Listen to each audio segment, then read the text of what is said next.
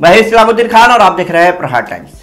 मुंबई के तारदेव में शनिवार की सुबह सात बजकर तीस मिनट पर भाटिया अस्पताल के पास स्थित 20 मंजिला कमला बिल्डिंग में आग लग गई। इस आग हादसे में करीब सात लोगों की दर्दनाक मौत हो गई है, जबकि कुछ लोगों का इलाज चल रहा है।